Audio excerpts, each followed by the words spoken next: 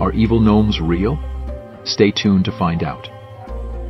Across different times and places, people have shared stories about mischievous gnomes, small creatures with a tricky and sometimes wicked nature that have captured imaginations worldwide. Welcome to Strange Lore. If you are a fan of the mysterious and unusual, please subscribe to join the expedition. Today, we will discuss several examples of these creepy and mysterious creatures. One well-known tale comes from German folklore, featuring the Heinzelmännchen. These tiny gnomes are famous for helping with household chores in the night. But when curious humans try to uncover their identities, the gnomes turn vengeful, disappearing and leaving chaos behind, refusing to aid the household again. In Scandinavian myths, the Nisse, a gnome-like creature, is known for both kindness and anger. Usually seen as a protector of farms, ensuring the well-being of livestock and crops, the Nisse can become malevolent if not treated respectfully. Farmers who forget to leave a bowl of porridge for the Nisse during Christmas might face ruined harvests or misfortune with their animals.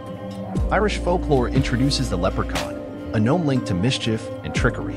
While often seen as harmless, leprechauns have a reputation for leading unsuspecting humans astray, earning a place in the darker side of folklore. They have been known to use lies and illusions, distracting humans while they get away or sending them into dangerous situations to protect their gold.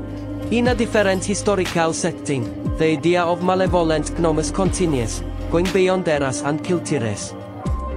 Yeah, okay, thanks for that.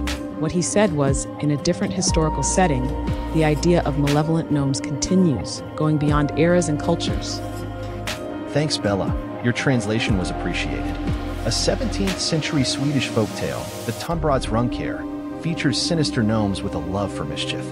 Believed to inhabit dark corners of households, especially where bread was baked, these gnomes would wreak havoc if a household failed to leave freshly baked flatbread for them. The gnomes would become vengeful, their response creating mischief and causing disruptions in the daily life of the household, fostering an atmosphere of unease.